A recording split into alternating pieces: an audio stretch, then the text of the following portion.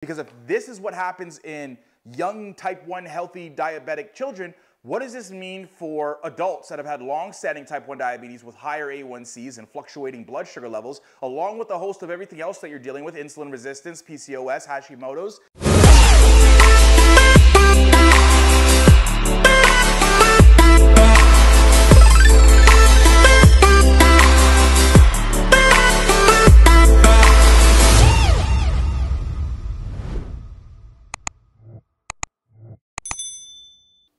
Going on, Warriors? Today we're gonna dive in. I'm gonna give make this like a little bit of an intro to what's called Type 1 specific training.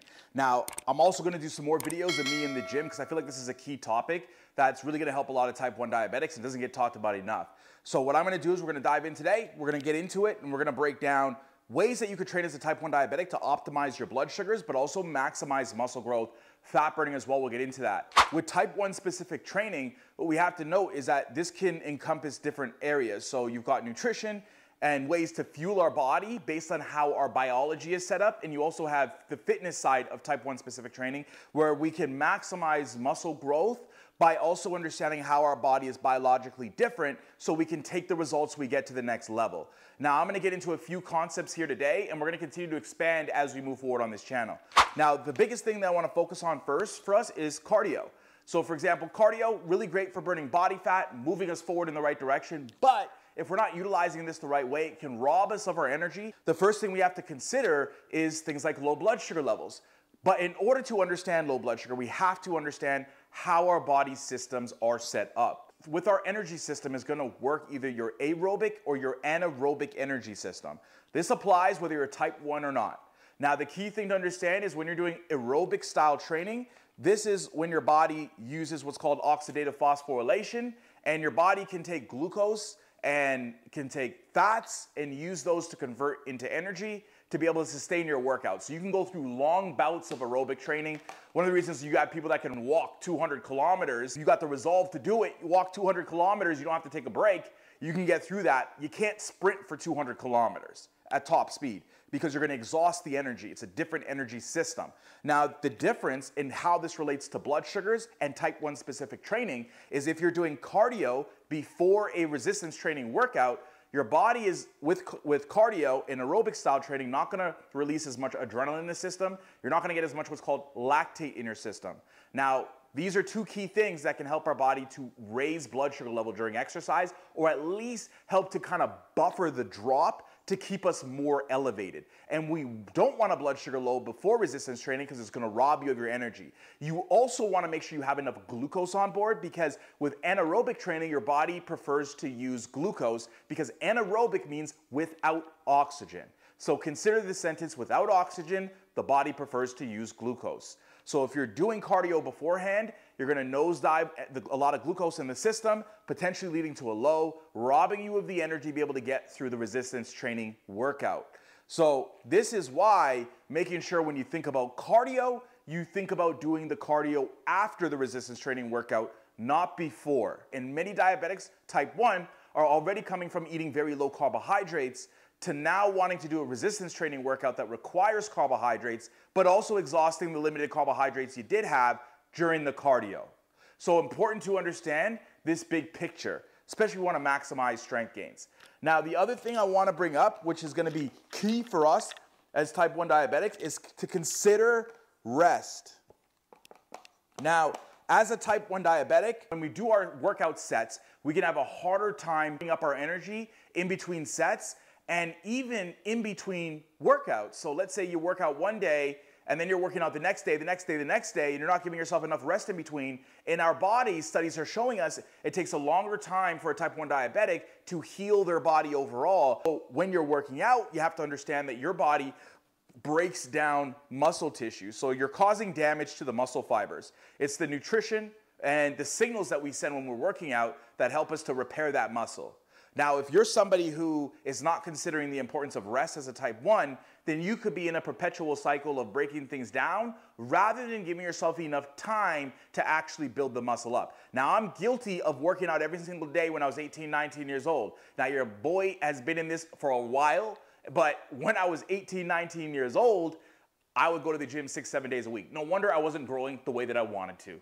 But as soon as I started to implement more rest breaks in between my workouts, I noticed that I was actually feeling stronger when I went back to do another upper body workout or lower body workout that required large muscle groups. And I was able to lift more, more progressive overload, which is key for muscle growth. And I felt like I had, again, more energy overall. So when we consider rest for a non diabetic, maybe that their bodies are healing within that 24 hour mark. But for us, maybe we need a little bit longer than that. Maybe your body responds better to having two days rest in between very large muscle groups. Consider a chest, tricep, shoulder day, and then somebody that went and just did a back and bicep day the next day, you might feel more depleted than if you had a rest day in between there and then did your push, your pull day after that. Also, what we have to consider, guys, is resting in between your sets. Another way that we can maximize type 1 specific training. So what we have to understand with resting in between sets, the reason why we do that, I, you've probably seen, hey, I'm resting 60 seconds in between my intervals or 90 seconds or one minute, three minutes, but why are you doing that? The idea is that you feel like you have a little bit more energy to catch your breath. Many people don't know the reason you're doing that is to recharge your battery from a perspective of what's called ATP. When we recharge our batteries, this allows us to go and push heavier weight the next time for the next set. Now, what we're finding with type 1 diabetics, the research is showing us that a type 1 diabetic is having a harder time recharging ATP from ADP. So what that means is ATP stands for adenosine triphosphate. This is your body's energy pack. Now, to recharge 90% of your ATP after, let's say, you do one set, you can't lift that weight up anymore, so we drop the weight. Now we need to rest. Your body in that rest time is recharging ATP, energy. Now, typical rest breaks are gonna be about three minutes to recharge ATP around 90%, generally speaking. Now, for a type 1 diabetic, this process can take a little bit longer. Even studies are showing us in children, it can take them longer to recharge ATP that are healthy, their body taking longer to recharge ATP. And we have to understand how our bodies are set up. Because our bodies are set up a little bit different in how we use energy, this can get in the way. And just like we talked about what's called oxidative phosphorylation, where our bodies take glucose, take fats, they can use that and convert to ATP and energy, we can have issues within our mitochondria where this process takes place when it comes to creating this ATP. So as a result, the process is either backlogged or slowed down, in which case it might take us a little bit longer than three minutes to recharge 90%. In the studies, maybe for three minutes, it might take three minutes and 30 seconds to recharge in the same way as a non-diabetic. Essentially, it's like getting a charger that's a little bit worn out, but we're still using it. It can charge, but it's not charging optimally. So charging optimally might mean for you testing it out and seeing how does an extra 30 seconds work for you? How do you feel with your workouts over time? And a lot of times it's over time as well. What does this mean over time for how much weight you've increased? Are you progressively overloading better, more efficiently? Hey, Tetley, how's it going, buddy? That's a key thing for us to understand is the rest in between sets, just as much as we consider the rest post-workout as well, and whether that might be something that's important for you to add in. Because if this is what happens in young type 1 healthy diabetic children, what does this mean for adults that have had long-standing type 1 diabetes with higher A1Cs and fluctuating blood sugar levels, along with a host of everything else that you're dealing with, insulin resistance, PCOS, Hashimoto's, maybe low iron, other details that happen to type 1 diabetics. So we have to consider how do we optimize for you. I love you, buddy. Now, the biggest thing I want to say too is this, this doesn't mean that you have to wait this long.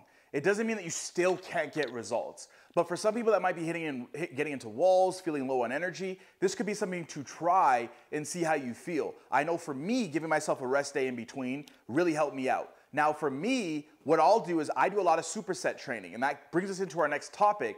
But I will go and do a set of, let's say, bench press, and then I'll do a set of tricep extensions and shoulder flies. Then I'll rest for an extended period of time, three minutes and 30 seconds but I'll still do supersets before I rest. That really helps me to maximize my fullness over time of how I felt when I was training and the size that I have on. Now, volume itself is also key for us and, and how we can trigger what's called local IGF-1. Now, what we have to understand for type 1 diabetics is your body does not produce the same amount of serum IGF-1. Serum IGF-1 is almost like the muscle building equivalent of a basal rate. Serum IGF-1 gets released from the liver, and that in response to growth hormone and insulin. Now, with that release, it can help in the background to keep uh, proteins optimized, to keep muscle more intact. Now, in type 1 diabetics, because we have more insulin resistance, the insulin is no longer coming from the pancreas, going directly to the portal vein and then to the liver. And as a result, we have a little bit more growth hormone resistance at the liver. It's not triggering this release of IGF 1 as well as it should. So, as a result, now we, we don't get the same impact of that serum IGF 1. But we have to note as well with, with IGF 1, your body also produces local IGF 1. Local IGF 1, so I got local IGF 1 is this IGF-1, like mechanical growth factor, that comes directly from the muscles. And this happens when you stimulate muscle growth through things like resistance training mainly, is gonna really maximize that muscle growth. So if you're someone who's a type 1 and considering, what do I need to do to maximize muscle growth or burn more body fat? Focusing on muscle growth and resistance training is really gonna help to take that to the next level for you. Also training to failure, really stressing those muscles, can produce a little bit more local IGF-1 rather than someone that's using more of the aerobic system and they're, they're hitting 15, 20 reps they, uh, and they're not going till failure, you're not really maximizing that development. So you want to, a sweet spot that I like is between about 8 to 12 reps. Now to increase volume there, I might do a drop set. So a drop set means I'm gonna do uh, maybe bicep curls, and then I'm gonna do lighter weight at about 50% and go till another eight, another six to eight reps till failure, and then I'm gonna rest. Already I've increased my volume from the next person who's just doing a regular bicep curl and then resting for three minutes, three minutes, 30 seconds, and then redoing it again, or 90 seconds. So for me, over time, I'm getting double the amount of reps, double the amount of volume in than your average person who's going to the gym and not doing that. I would say for me, this is the single most powerful thing that I've kept, have one, helped me to develop a little bit more muscle in terms of increasing my volume, increasing my intensity with my workouts as well, and getting my body in motion. For type 1s, getting the body in motion can help to improve insulin sensitivity. So it's one of the reasons why in between some of my sets, I might do a lap around the gym, or I might just go and just have my machine spread out so I'm moving from place to place to get more steps in. For us, a lot easier for us to retain more body fat due to how we take insulin. We can become more insulin resistant easier because of how we take insulin. Motion and movement can help us to become more sensitive, just as building muscle does, because 90% of glucose disposal happens in the muscle. So these are key things that we can think about just as a baseline for how our bodies might be slightly different and things that we could test in order to see how do we feel over time? Are we increasing strength? Are we increasing energy? How do we feel with the muscle development that we have? How do we feel with fat burning? Because again, remember, the more muscle we are developing, the more of a furnace capacity you have to, to put the fat in to burn it. The more wood that would go in the furnace to burn it. So we gotta think about building muscle if we also wanna think about fat burning, but also optimizing our health.